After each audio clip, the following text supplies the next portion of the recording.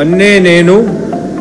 ముత్తంశెట్టి శ్రీనివాసరావు అవంతి శ్రీనివాస్ అనే నేను శాస్త్రం ద్వారా నిర్మితమైన భారత రాజ్యాంగం పట్ల నిజమైన విశ్వాసం విధేయత చూపుతానని భారతదేశ సార్వభౌమాధికారాన్ని సమగ్రతని కాపాడుతానని ఆంధ్రప్రదేశ్ రాష్ట్ర మంత్రిగా నా కర్తవ్యాలను శ్రద్ధతో అంతఃకరణ శుద్ధితో నిర్వహిస్తానని భయంగానే పక్షపాతంగానే రాగద్వేషాలు కానీ లేకుండా రాజ్యాంగాన్ని శాసనాలను అనుసరించి ప్రజలందరికీ న్యాయం చేకూరుస్తానని దైవసాక్షిగా ప్రమాణం చేస్తున్నాను.